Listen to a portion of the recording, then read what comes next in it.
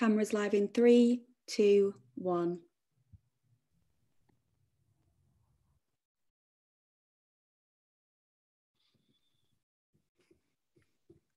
Hi, everyone. Thank you so much for joining us today. Um, and welcome to Listening to the Land session, um, an event um, organized by Flourishing Diversity, Invisible Dust, and the British Library. My name is Marion Atieno Osieo. Um, my pronouns are she and her. I am wearing a black blazer and a black dress, um, and I have short hair. And um, I identify as a Black African woman.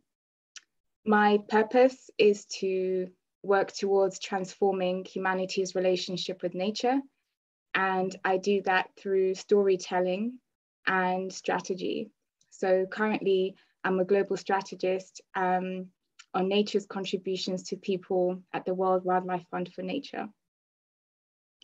So my role today uh, in this session is to be a host and it's to create a space for us to um, bear witness to our speakers today um, through generous listening generative questions, and silence. I wanted to tell you a bit more about listening to the land. So this is a session for us to consider what it means to listen to the land um, and why it's of value to the future of our planet. Um, so in today's session, you'll hear from our speakers who will share the experiences of listening to the land um, how it's shaped their relationship with nature, and how it's also shaped their responses to the climate and social justice. Before we start, um, I'd, like to invite us to have a moment of silence.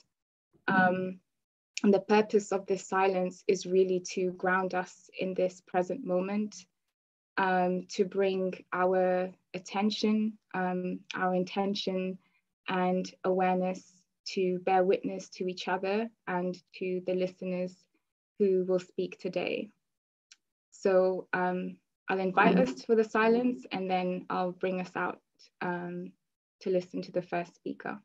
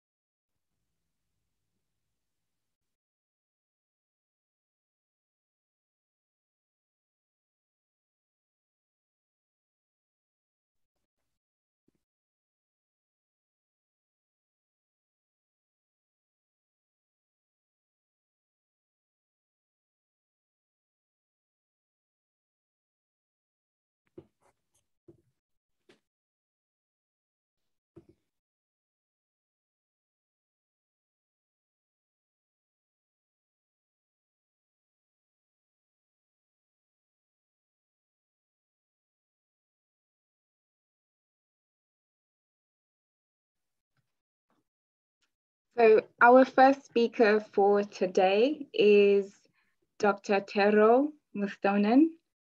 Um, he is an adjunct professor who works for the award-winning nonprofit Snow Change Cooperative based in Finland. Snow Change is a network of indigenous and local communities in the Boreal and the Arctic that works to advance the knowledge and ecosystems of the circumpolar north. Tero is also a professional winter fisherman and chief of the village of Selkie in North Karelia. He's currently serving as a lead author for the Intergovernmental Panel on Climate Change. And he's also an internationally known scholar of the Arctic, rewilding, and Indigenous issues. where he advocates for traditional worldview and cosmology of his people. Welcome, Dr. Tero.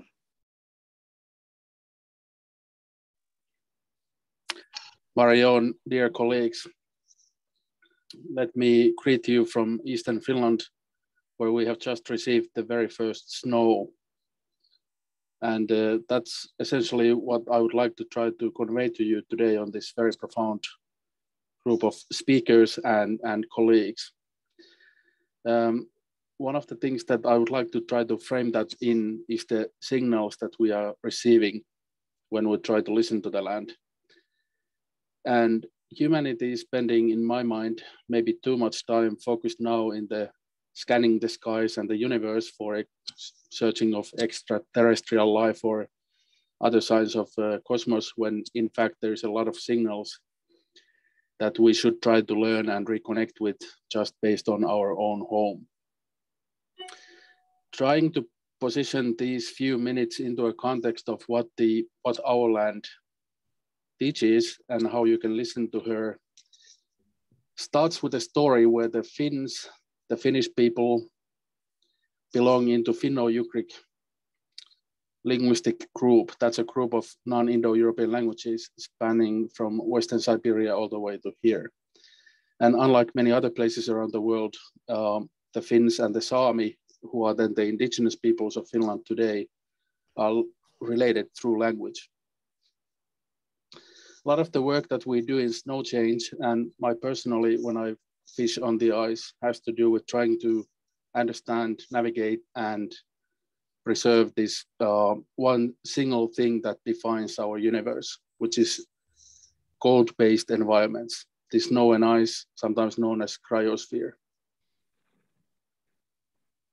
Right at this time of the year, one of the most beautiful things you can ever hear or witness and I, I was able to hear that last weekend, is the way the ice sings.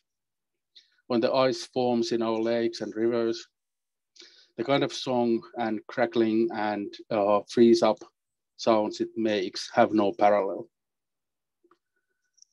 The snow cover that came also last week here extends now hopefully all the way to early May. It used to go perhaps middle of May in the past. And that snow cover is a book for us if you know what you are looking for. You can see all the animal tracks, the wolverine, moose. We are now engaged in our community moose hunts, the fox, where the raven went, or the forest crows, and so, so on. Of course, you can track animals also in non-snow environments, but the snow really opens up this pathway and the big story of what's going on in the forest. And these two environments, the lakes, the water environments that are now singing when the ice is coming, and uh, the snow covered lands are our home. They are our center of our universe. But unfortunately, they are very much under threat. One of the ways to explore the traditional knowledge from here, from our villages in the Arctic and in the Boreal, of course, has been the question of, or I'll use one example of how, how it comes to matter many of you will know northern lights in the northern parts of the planet, or at least you have heard of the aurora borealis. Snow Change, the organization that I work for, has been working with oral histories and indigenous and traditional knowledge all across the circumpolar north now for 20 years.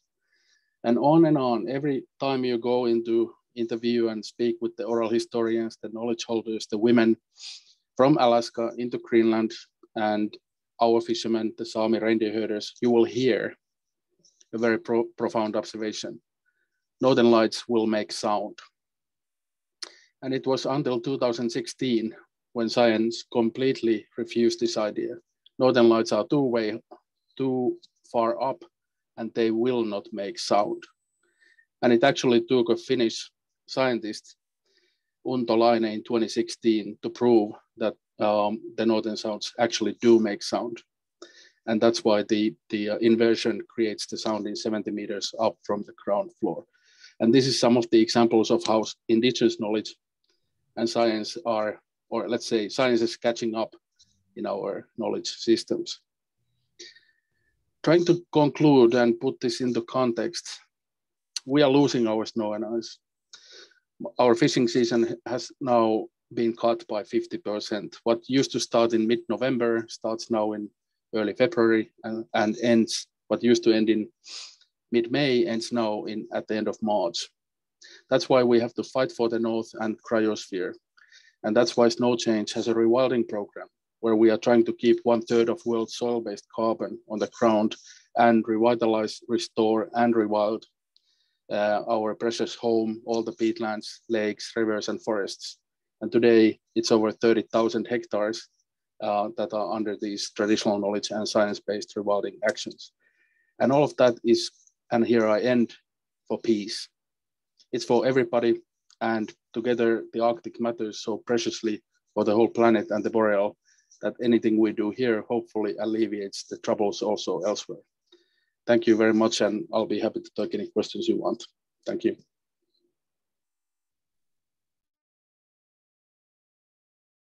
Thank you so much, Tero.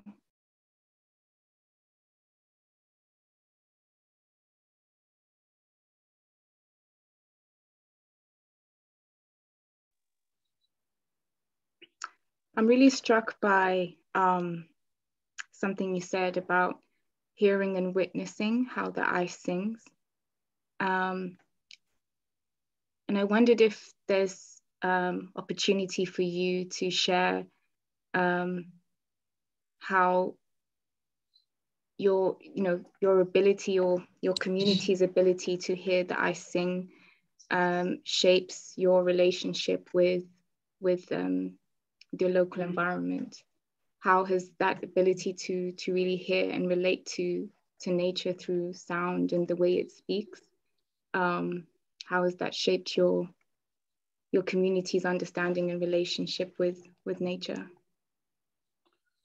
marion thank you um, one of the things to understand is that i'm now 45 and um, the last very proper winter that i witnessed was in 1987 Mm. So almost 30, 35 years, we have now constantly been having something else. Either, either it's too warm, haywire changes in 24 hours, or whatever the case.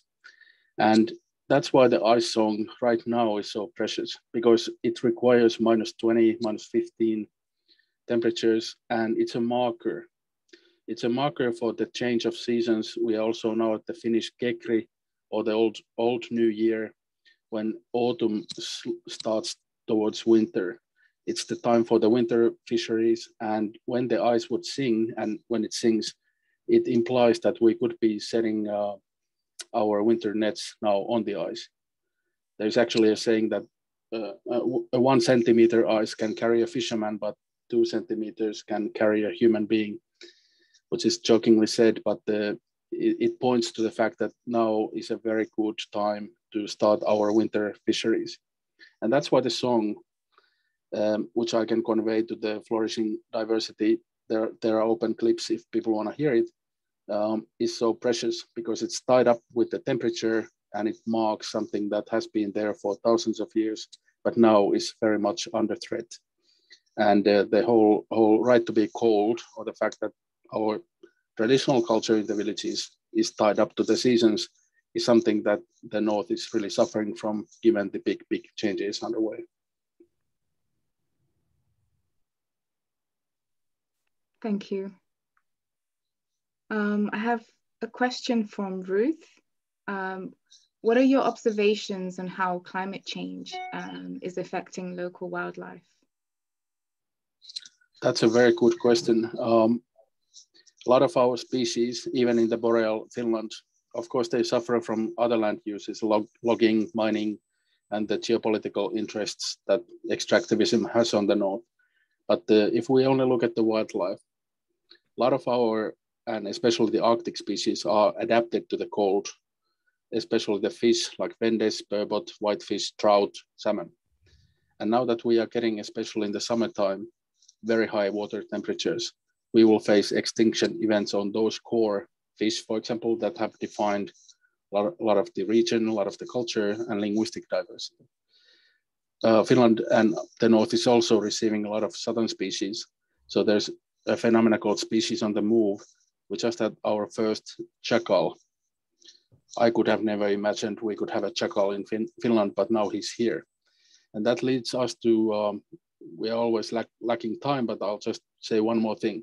How do we connect, if there are pockets of traditional knowledge remaining, how do we then connect with those newly arrived, form relations, and how do we grieve when we lose, for example, the Arctic fox or some of the other cold dependent um, species? Thank you, Tero. Thank you so much.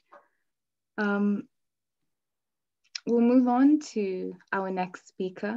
Um, I'm so grateful for the opportunity to listen to you. Um, so up next we have uh, Jolie Booth. Um, Jolie Booth is an artist and producer and director of Kriya Arts and the co-founder of Listening to the Land Pilgrimage for Nature. The pilgrimage journey began early September and is still in motion. And it involves a group of ordinary people taking an extraordinary odyssey um, by walking 500 miles along a route known as the Spine of Albion um, to arrive in Glasgow, which I believe Jolie's, uh, Jolie's in um, Glasgow now. Um, Edinburgh. Edinburgh. Oh, Edinburgh. Okay, so you're still on your way. Yes, That's amazing. um, and so they're on their way to Glasgow for the UN Climate Change uh, Conference, also known as COP26. And their intention is to collect stories, dreams, and hopes from people they meet along the way and present to those in power a People's Charter for the land. Jolie, thank you so much for joining us today and for making the time to, to speak with us. Mm, thank you. Yeah, so we've just been on one hell of an adventure. Um, so the pilgrimage came about because last year I walked the Michael and Mary line, which goes along the width of the UK, um, the, the, widest point, and it starts near Land's End in Cornwall and ends on the Norfolk coast. And this was a personal journey. Um, I felt called to do it. And um, during lockdown, I was in a one bedroom flat and had no garden, and just and some friends of mine died and um, had a lot of grief. And so I set off on this journey and had such an incredible time. And the thing that um, I learned from it that was really significant was that it was just after Brexit and uh, the pandemic had just begun, and there's a lot of unrest and a lot of fear. And everyone had their kind of soapbox rant that they shared with me, um, which were all barking mad as well. Like everything that everyone said was all over the place. And the thing that I was struck by was how do we exist in any shared concept of reality when everyone's realities are so different?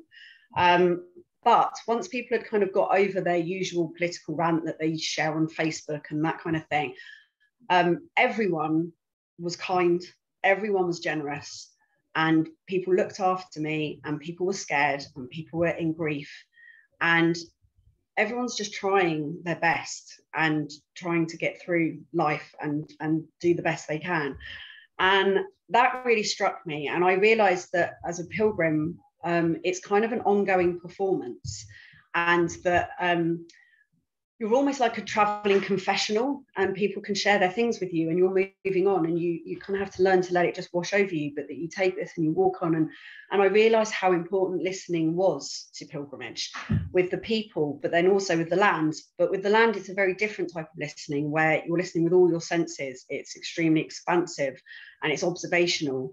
Um, and with both so this pilgrimage i was walking the michael and mary energy lines that run along a ley line called the Michael line. And I didn't know anything about ley lines when I set off. It was just a route that I picked because it was a long route. Um, but I found that I tuned into the lines. Um, at first, I used dowsing rods.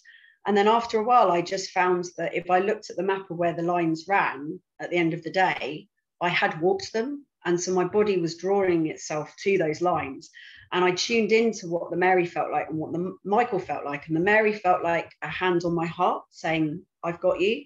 And the Michael felt like a hand on my back saying, You've got this. And, and I tuned into that being kind of a masculine and feminine energy, masculine being action and the feminine holding space. And on the journey, my friend Anna Lehman joined me, and she works for a company called Wildlife Works, and she's a global um, climate advisor. And she said, "Oh, it would be so amazing to walk to Glasgow and to COP26 and do a performance." And I was like, "Right, we're going to do it." So I applied to the Arts Council and got funding to do this journey. And then I was looking for a route to get there and found the Spine of Albion, which is another line that runs from the Isle of Wight to the top of Scotland. And around it are another masculine and feminine line called the Elen line and the Belenus line, which are Celtic god and goddess who are a bit akin to Apollo and Artemis. And uh, so I started in the Isle of Wight with a friend, and we um, connected with the line of Elen, um, where there's these giant caves that are, uh, look like nostrils, and it's like these dragon nose nostrils at the end of the land. And you could even see the line coming in where the tides met that went into the caves.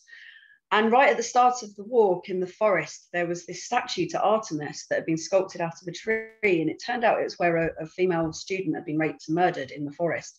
And in her sketchbook was this drawing of Artemis. And the Elen energy has been very different to the Mary energy in that um, it has felt like the anger and wrath of the feminine. It's the it's the confused, unhappy, befuddled, trying to figure it out side of the feminine. And then the masculine energy, um, the Belenus, which is the sun god, has got this very Arthurian, like King Arthur, lion, Aslan majesticness to it, who feels like it's holding space for the feminine to figure it out.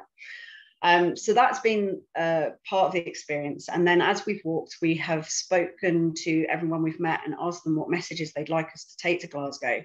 And just the fact that we're listening rather than walking with banners and, and coming with a political agenda has meant that we have spoken to lots of different types of people who might not have engaged with us normally. Um, but also this, this sense of um, listening with all our senses, like my, my being right now feels as expansive as the world. And my listening is, is everything. I've come into Edinburgh, into this city, and it's almost quite painful being here because of the amount of um, raw and energy and sirens and everything. I'm having to kind of pull myself back together again. But there's, uh, yeah, the side of observing how the land changed, how it was unbelievably hot in September, like abnormally hot, and the land was cracked, and the way that the farming was being done meant that the, the land was barren and it was desert. So, in terms of listening, being struck by how little wildness there is in the UK, um, it's only as we got further north that we really encountered um, wildness. So yeah, that's where we're at the moment. We've walked to Edinburgh and we'll soon walk over to Glasgow and share all of the what we've learned in performance and with a charter. We've asked people to give us quotes and we've put them on um, patches, which we're putting into one big charter that's a scroll that we'll hand over to the delegates when we get there.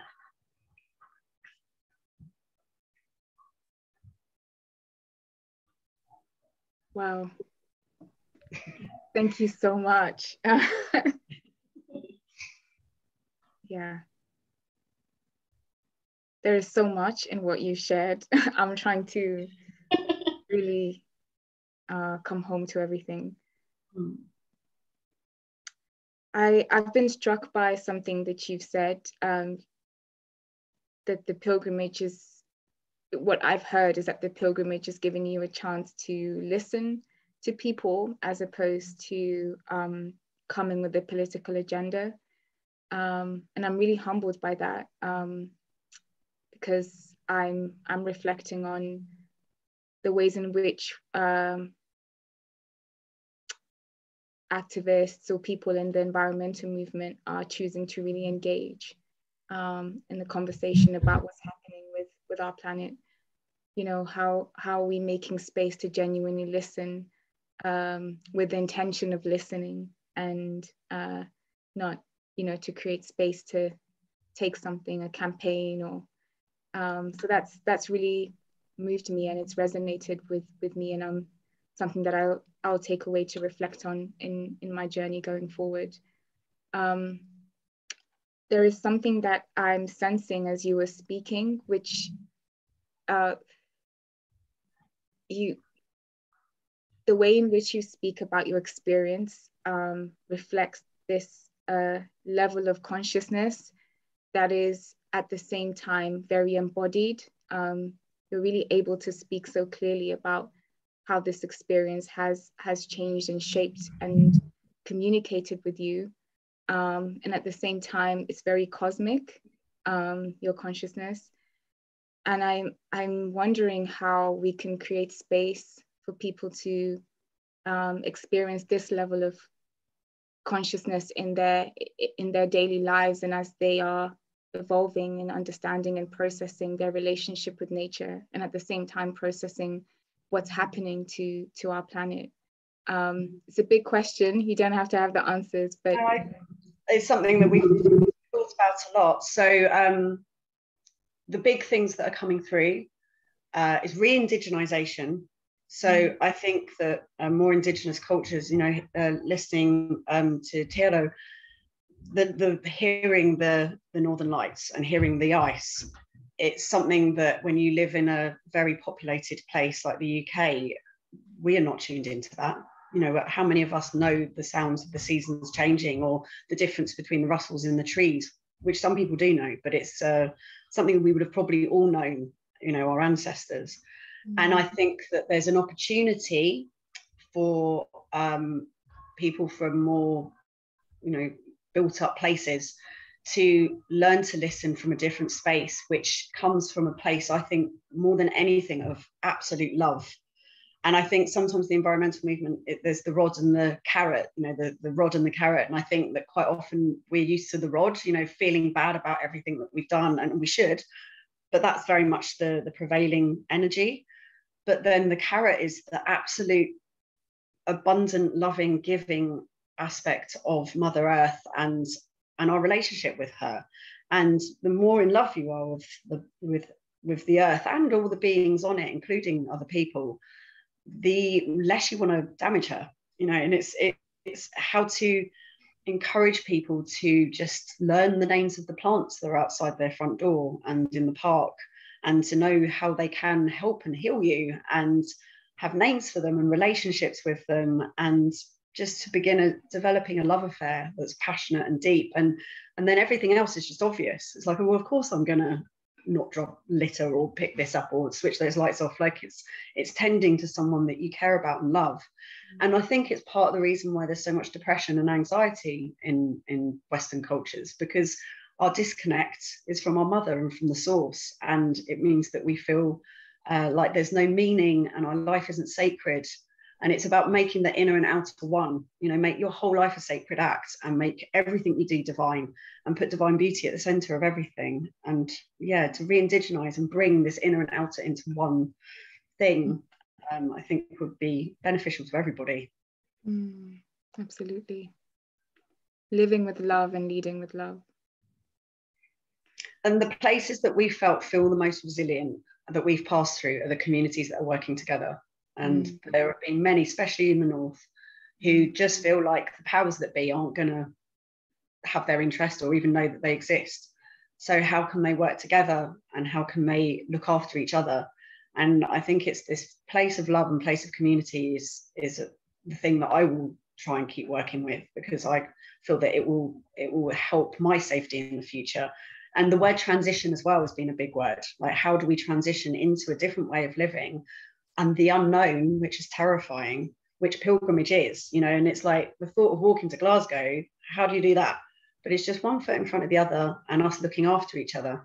And uh, one of the pilgrims came up with an amazing quote which is uh, community is an ongoing conversation about how to share space and we've constantly in this group just had to work out how to share space when we're wet and muddy and hungry and stressed and tired and have just waded through a river. Like what, do, what how do we look after ourselves and each other? Um, and i think as we face this time of transition that's the question. How do we do this together and how do we take care of each other?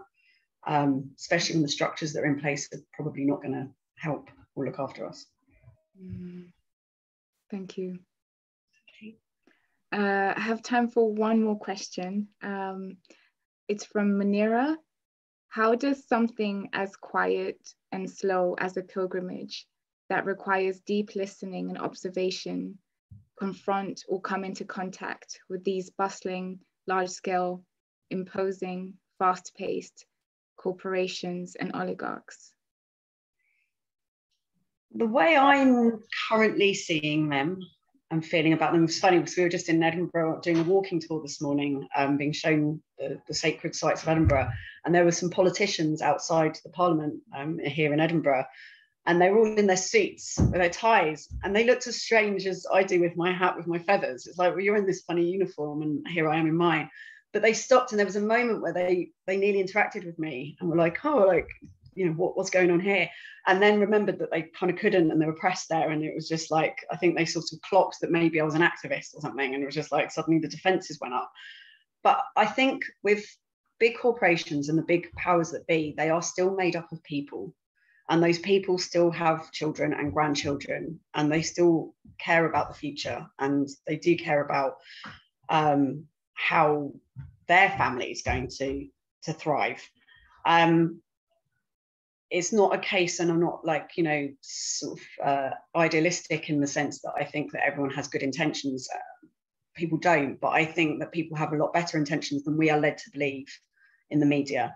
And to just remember that like a corporation's treated like a person legally then they're not that that doesn't have a heart. But within that there are lots of hearts. And within you know i met um, edwin booth who runs the booth supermarkets um, which is a northern chain of supermarkets and he came to meet me uh, with a friend of his who was a landowner, and they had huge, huge amounts of land, and they were very wealthy. But he really cared, and and and they were talking about you know the future generations and how to protect them.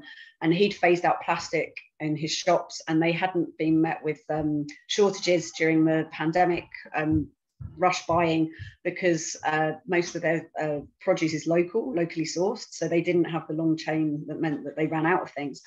Um, so, you know, meeting him gave me hope because it's like, okay, you are part of the, the landowning elite, but you do care. And actually, these conversations are happening amongst everyone. And um, I once heard a speaker um, from South America, and I can't, I, I don't remember his name because it was a couple of years ago, but he said that um, a whole shoal of fish doesn't choose to change direction at the same time. It takes 10% at the front to change direction, and then the rest go with them. And this pilgrimage, and then other things that have been happening, other pilgrimages, and just things that are happening in the world at the moment, I feel are, are beacons that are lighting up, just saying to each other, there's a bunch of us at the front who are moving and we are changing direction. And I do have loads of hope. I feel hopeful. I can see loads of beacons, and, and I feel like people will follow. They haven't all got to be on board, but they'll just they'll go with the flow if that's the way we're going. So I have mm-hmm. hope in that sense. Wow. Thank you so much. Thank you. I'm very grateful. Um, we'll now move on to our next speaker. Um, speaking of hope, uh, Satish Kumar. Um, Satish is a lifelong activist and former monk who in 1962 started a peace pilgrimage to the nuclear capitals of the world, from India to Moscow, London, Paris, and the US walking without money, and depending on the hospitality and kindness of mm-hmm. strangers. In his 50th year, Satish took, undertook another pilgrimage, again carrying no money. This time, he walked 2,000 miles to the holy places of Britain, a venture he describes as a celebration of his love of life and nature. Now in his youthful 80s, Satish has devoted his life to campaigning for ecological regeneration, social justice, and spiritual fulfillment. Satish is the founder of the Resurgence Trust, an educational charity that seeks a just future for everyone. Welcome, Satish. Thank you. Thank you for your kind words and wonderful to listen to the two speakers before me. I am an earth pilgrim, and earth and land are one. In order to listen to the land, we have to be on the land. We have to be off the land. We have to be in the land. Quite often, we are a little bit away from the land, and therefore we don't listen to the land. We are stuck in our apartments and compartments and cars and trains and for computers and so on. So I decided to listen to the land, to go out and go out not in a car, not even on a bicycle, not even in a, in a horse cart, but on my two legs. So I can touch the land. I can touch the earth. I can feel the soil. I can feel the air. I can see the clouds. So I can be part of nature. And when I started to walk from India, I had no money. I decided to walk without any money because land will give me food. Food doesn't come from money. It's our idea, our social construct that we think money will buy food. When I go to an apple tree, apple tree doesn't ask me, have you got your wallet? Have you got your Visa card? Just apple tree gives you apple, whether you are a man or a woman or a young or old, or black or white, or you are a human or animal or birds or wasps or bees. So I wanted to walk without money. And I started from India. And at that time, it was the height of Cold War. And I said, nuclear weapons are sin against nature. If you drop a nuclear bomb, it will not only kill humans, it will kill all uh, uh, animals, forests, lakes, oceans, rivers, plants, wasps, bees, insects, everything will be destroyed. Therefore, we have to somehow stop this nuclear arms race. As a symbol to listen to the land. If we listen to the land, then in land, everything is in harmony apart from humans, nobody has created nuclear weapons. And so, listening to the land, I walked every day 10 miles, 15 miles, and after a while, even 20 miles a day. And I walked through Pakistan, Afghanistan, Iran, Azerbaijan, Armenia, Georgia, and went to Moscow, Russia. And then walked from uh, uh, Russia to Belarusia, Poland, Germany, Belgium, France, England, America, Japan. 15 countries, more than 8,000 miles of walking for two and a half years. And what I learned is that land speaks to us, but we have to hear the, the, the language of the land. It doesn't speak English, it speaks landish, land language. You know, Shakespeare got it. Shakespeare said, tongues in trees, books in running brooks, sermons in stones, and good in everything. Trees speak to us in tree English. And, and the brooks, the rivers, the, the streams are the book of nature. We have to learn to read the book of nature, like the Aboriginal people have song lines the song of the earth. And so when we can listen to the, the tongues of the trees and read the book of the brooks and hear the sermons from the stones, stones give us sermons of peace and resilience and endurance. You don't have to go to the church or mosque or, uh, or a synagogue or a temple to hear the, the, the sermons of love and compassion you can hear from the stones and from nature. And good in everything. The moment you realize that this creation is beautiful and we are part of that creation, the moment we start to listen to the land, we know that we are the land. We are made of the soil. The humans and the humus come from the same Latin root. Humans and humus. Humus means soil, the land, the earth. So human beings are literally soil beings. And so we our food is made of earth and soil and land. And our trees are made of the soil. And our clothes are made of the soil. So that experience came to me by walking on the land and realizing that we have to make peace with the land. We have to make peace with nature. We have to make peace with the earth.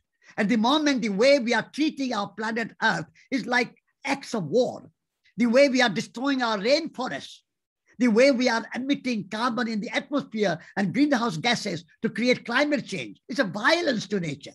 It's a war against nature. So we have to make peace. the way we put animals in factory farms and treat them cruelly, and the way we treat soil with poisons and chemicals and so on. That's a war against nature. So unless we make peace with nature, peace with the earth, peace with the land, we are not going to be at peace in our own heart and in our own life.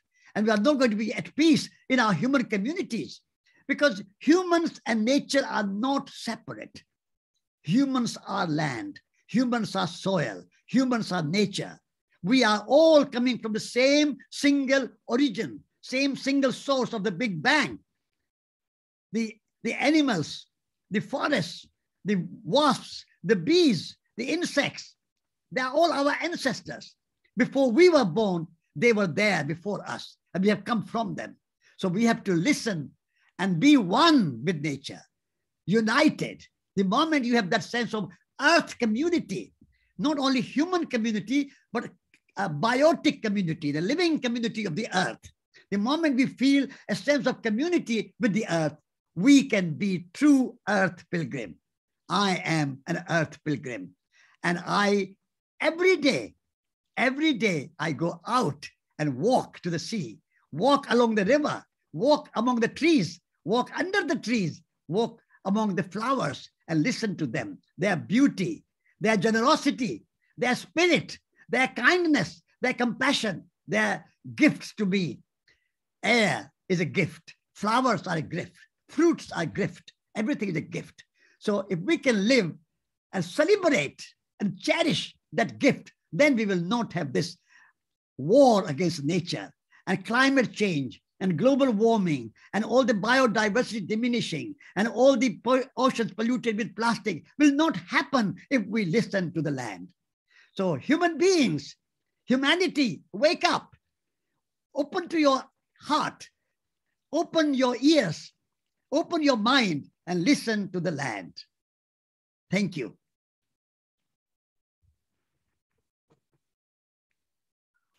Wow, Satish, thank you. Oh. You are welcome. I need a moment. um, thank you so much. Uh, okay, I'm grounding myself. Uh, we have a question from Izzy. Uh, how do we get people to make peace with nature on the scale that we need it to enact positive change for nature and ourselves? because there needs to be a huge psychological shift away from this war against nature. Yes. But how do we do this and make it happen in time? Yes. You have to, we have to do it step by step.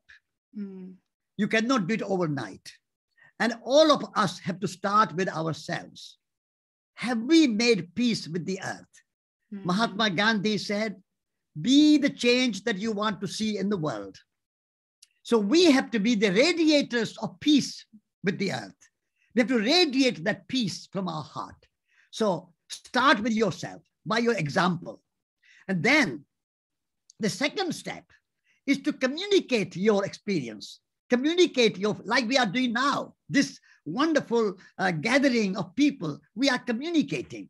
Communicate your, your spirit and your love for nature your, your compassion and kindness to nature.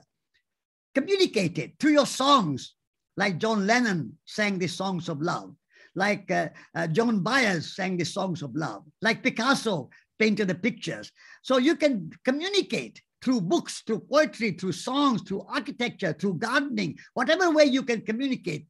Tell other people if one person communicates with 100 people, 100 people communicate with 1,000 people, and 1,000 people communicate with 10,000 and 1 million, that's how the big movement begins. Nelson Mandela's anti-apartheid movement started with communicating those ideas. Martin Luther King's movement started with communicating the, uh, the uh, anti-racism uh, message and Mahatma Gandhi's um, anti-imperialism message. They all started by communicating your ideas. So all of us, the person who is asking that question, learn to communicate your conviction, your ideals, and your values uh, through songs, through music, through any way. And then organize, organize, join the movement. You are not alone. Like many, many tributaries make a great river. Many, many small individuals make a great movement. So don't sit and think, how do we do it? No, just do it.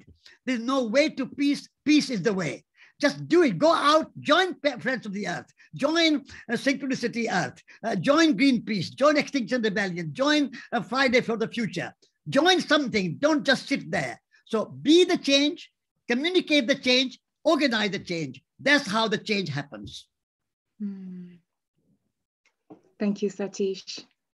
Um, I'm going to take one more question. We have quite a few coming in for you. Um, and this is related to notion or understanding of violence. So is the natural world truly in harmony? How do we explain invasive species that kill or wipe out other species? How do we explain microbacteria and fungi that kills and monopolizes terrains? no, you know, the life and death are part of our cycle of being. Mm. Um, so we all die. Millions of people are born and millions of people die. It's the violence is when we kill and when we kill with anger and we kill with animosity and create wars, that's a different kind of uh, uh, um, death than the death which comes naturally.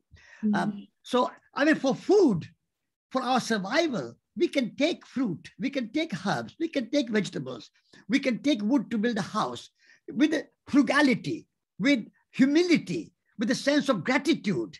If we can practice that gratitude and humility, then we can uh, take from nature. Nature is there to give us, like mother gives milk to the baby from her own breast. That is not um, violence. That is how reciprocity and mutuality happens. So uh, sometimes nature finds its own balance and has a kind of earthquake, has a kind of volcano, has a kind of uh, extinction, uh, um, extinction, which is a natural cycle of evolution but it's very different from the kind of wars uh, and the cruelty that we humans have organized uh, in order to just make money, just to make profit. There's no other purpose. So I think uh, the, our human economic growth and human profit making has become so violent that we have forgotten the land is not only a resource for money and economy, land and nature are source of life itself. We have forgotten that.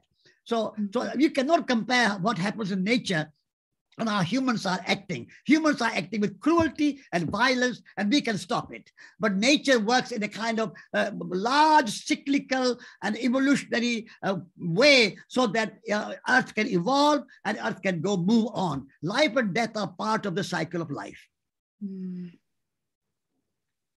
Thank you so much, Satish, uh, for sharing your experiences with us today. Um, I'm really grateful.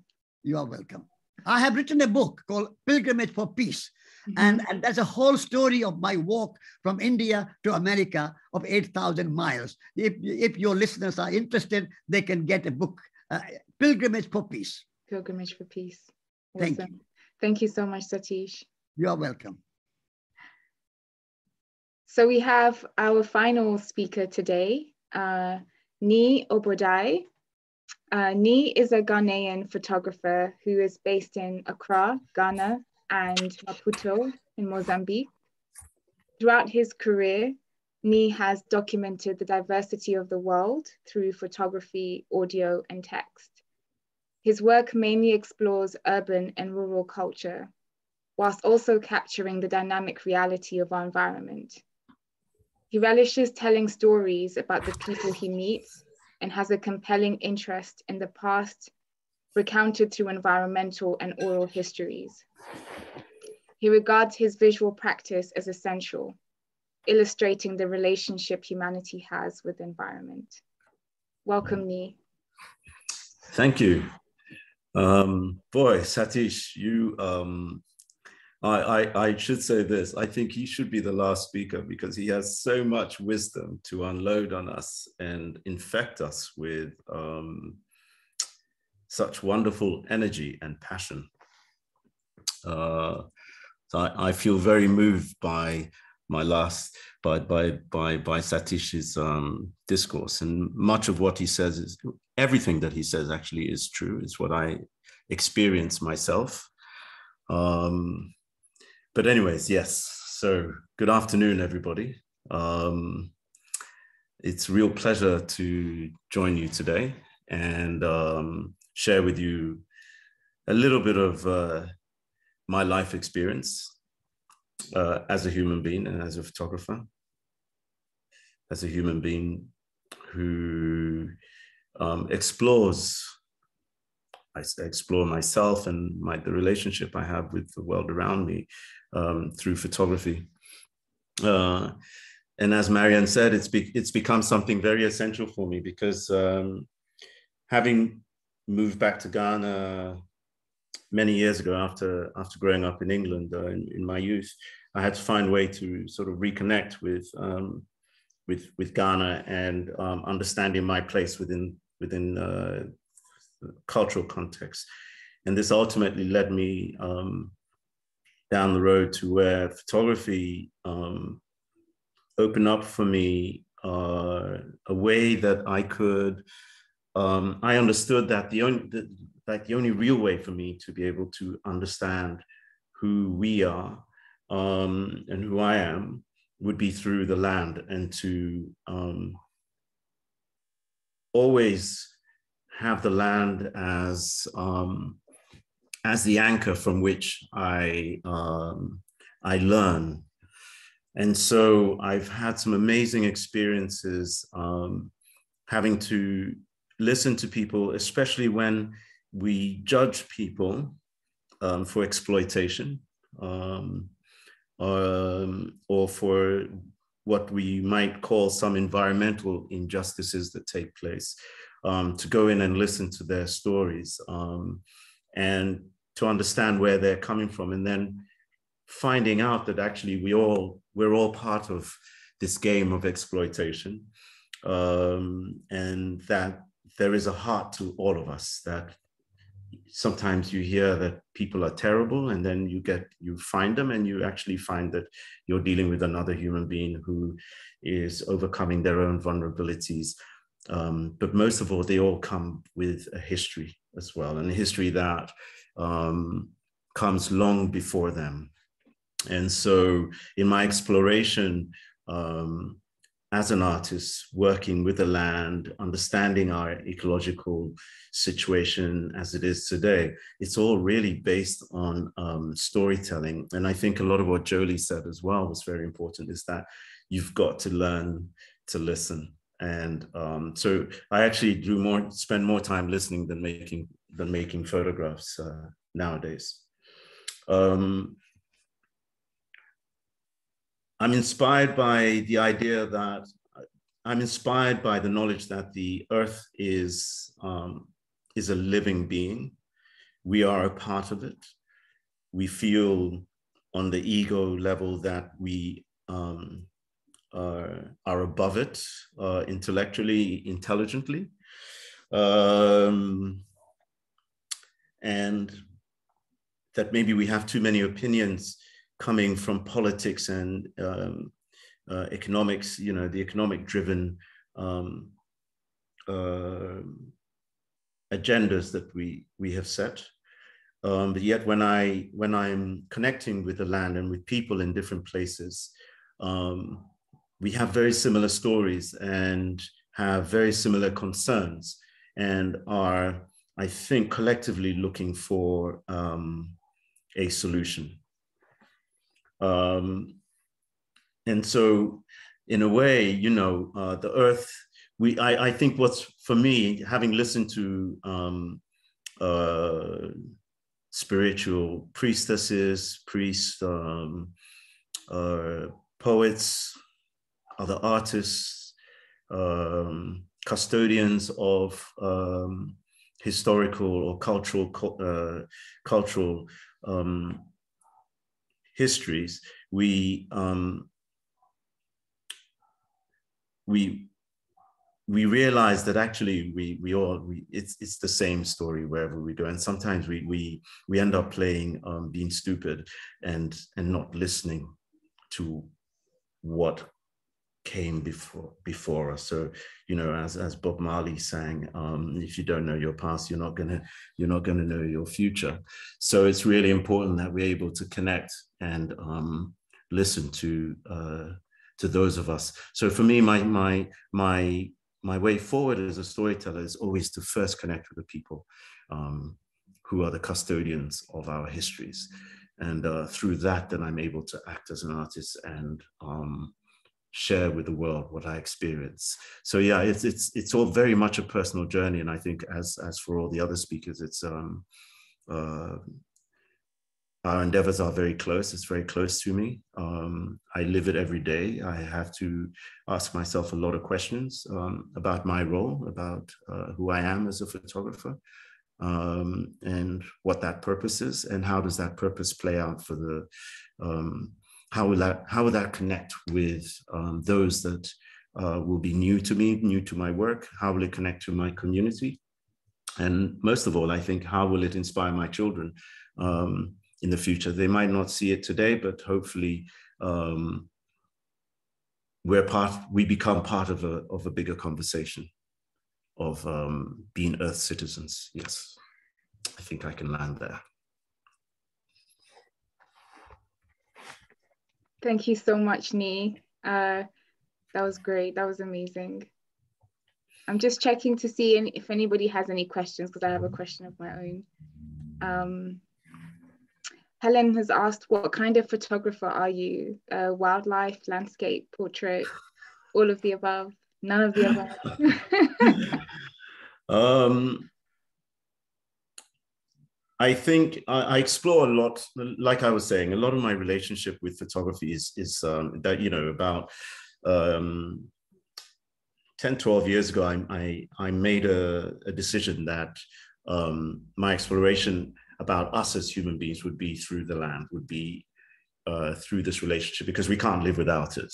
I mean, um, sure, we got people flying off to space, but they're looking for land somewhere else, right? Mm-hmm. Um, uh, we got people beginning to mine the sea, and uh, they're looking for, or even to create cities within the within the sea. But it's all a form of of land, you know, where where we're constantly on this search. And I think um, for me, my photography really is um, is about that. It's about this relationship that we have. I won't say that I'm a landscape photographer, although that I work with a lot of landscape. Uh, mm. um, obviously, it's the backbone of, of, of, my work in, in these days. Um, but I'm quite happy to just be a photographer. Mm. Amazing. I might try and become. I actually have to become a pilgrim photographer because you oh, know yeah. um, I've got Jolie and Satish to uh, uh, who totally inspire me with the with with their with their vision and their and the mission that they have set themselves. Absolutely, absolutely. Okay, um, I've just realized that our time has come to an end. Um, we're right on the dot of 3.30 um, UK time. Uh, so that brings us to a close for this conversation. Um, so I wanted to first of all thank you, um, Nii, Satish, uh, Jolie, and Tero for the opportunity to, to listen to your experiences of listening to the land. Um, I also wanted to thank uh, Flourishing Diversity, Invisible Dust, and uh, the British Library for creating this space for us to, to be able to connect um, in communion. And um, lastly, but not definitely not least, I wanted to thank um, everyone who has joined in today and um, really held space for us to listen um, to the speakers and also engage in conversation through questions. And I wanted to just also briefly um, mention that listening to the land session is part of a broader program of events called Living Nature, uh, which seeks to explore um, the futures of our relationship with um, the living planet um, through art, science, and Indigenous knowledge. So please do check out the rest of the events, which will be happening um, online over the next few days. So yeah, with that, I wanted to say thank you and um, hopefully see you soon. Thank you. Thank you. Bye. Bye bye.